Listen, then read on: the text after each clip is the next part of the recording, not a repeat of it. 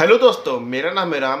Welcome है आपका मेरे स्टूडियो में। दोस्तों, वैसे तो 26 जनवरी या पंद्रह अगस्त को कोई ना कोई बॉलीवुड की ऐसी मूवी रिलीज़ होती है जो देशभक्ति से आधारित होती है। वैसे आज 26 जनवरी को मूवी रिलीज़ हुई है बॉलीवुड की गांधी गौर से युद्ध। अब मैंने इस फ़िल्म को तो नहीं देखा है, देखो, क्योंकि दोस्तों मेरी सिटी फ़िल्म लगी है। लेकिन मैंने इसके जैसे रिव्यूज़ पढ़े, लेकिन मैं सोच रहा हूँ जो भी मेरे ऑडियंस है, उनको ये मूवी देखनी है तो उनको मैं बता दूँ कि क्या फ़िल्म ऐसा खास कि आपको इस फ़िल्म को देखना चाहिए भी नहीं, और फ़िल्म में क्या अच्छा है, क्या बुरा। हमारे सिटी के अंदर ना सिर्फ़ एक ही मूवी लगी है, वो है पठान। कोई बड़ी सिटी नहीं है। मुझे बाकी मूवी देखने के लिए दूसरे शहर जाना पड़ता है।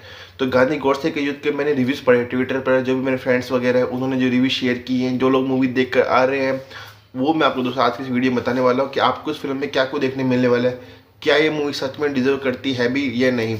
देखो, ये फ़िल्म देखने पहले आपको दो चीज़ समझनी होगी आपने महात्मा गांधी के ऊपर काफ़ी फ़िल्में देख रखी होंगी। उनकी लाइफ के आधारित बहुत सारी फ़िल्म बनी, सिर्फ़ उनकी विचार दिखाई गई है। लेकिन इस फ़िल्म के अंदर सबसे बेस्ट प्लस पॉइंट होने वाला है, यहाँ पे आपको गोड से यानी नाथुराम गोड से के विचार थे ना, वो आपको इस फ़िल्म में देखने को मिलने वाले हैं। तो ये फ़िल्म ऑटोमेटिक ना, ज़्यादा बेस्ट बनने वाली है।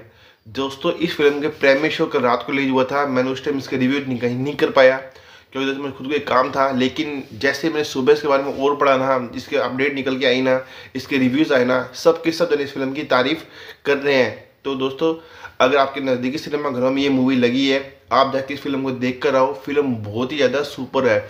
ज़बरदस्त है ऊपर दोस्तों, इस फ़िल्म को बनाया गया है। तो इस फ़िल्म के लिए मेरा एक छोटा सा रिव्यू था। जैसे इसका पता चला, आप लोगों के साथ शेयर कर दिया। इसको रेटिंग बहुत अच्छी मिल रही है।